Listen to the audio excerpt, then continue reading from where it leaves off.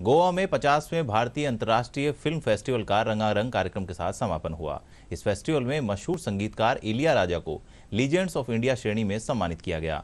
अभिनेता प्रेम चोपड़ा और अरविंद स्वामी और असम की फ़िल्म निर्माता मंजू बोहरा को भी सम्मानित किया गया। सर्वश्रेष्ठ फ़िल्म के रूप में पार्टिकल को पुरस्कृत किया गया। समापन समारोह के दौरान केंद्रीय पर्यावरण और वन राज्य मंत्री बाबुल सुप्रियो और गोवा के राज्यपाल सत्यपाल मलिक, मुख्यमंत्री प्रमोद सावंत मौजूद रहे।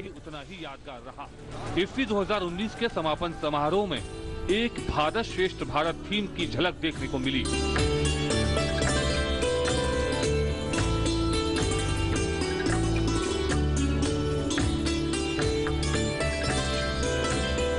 इस मौके पर मशहूर संगीतकार इलई राजा, प्रसिद्ध असमिया फ़िल्म निर्माता जू बोहरा चोप और अरविंद स्वामी को सम्मानित किया गया। गोवा के राज्यपाल सत्यपाल मलिक ने फ़िल्म जगत से आह्वान किया कि वो अपनी फ़िल्मों में सामाजिक मुद्दों को भी शामिल करें।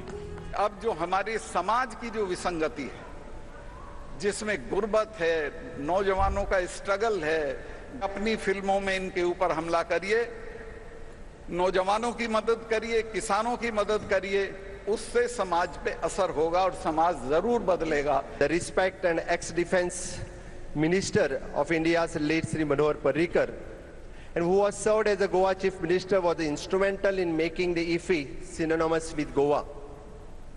One of its main dream for a Goa was to make the state heaven for the film industry.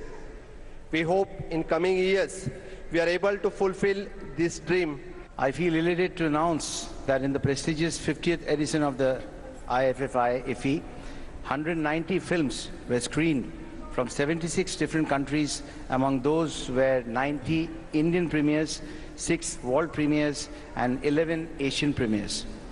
समापन समारोह के दौरान गोवा के मुख्यमंत्री प्रमोद सावंत ने स्वर्ण मयूर पुरस्कार प्रदान किए सर्वश्रेष्ठ फ़िल्म के लिए golden peacock award Blaise Harrison द्वारा निर्देशित और एस फियालोन द्वारा निर्मित फ़िल्म पार्टिकल्स को दिया गया। फ़ेमस सेडेन को उनके फ़िल्म बैलून के लिए विशेष जूरी अवार्ड मिला। भारतीय निर्देशक लीजो जोस पैलिसरी ने अपनी फ़िल्म जलीकट्टू के लिए सर्वश्रेष्ठ निर्देशक का पुरस्कार जीता। इसके अलावा अभिषेक शाह द्वारा निर्देशित फ़िल्म खलारो का विशेष उल्लेख किया गया।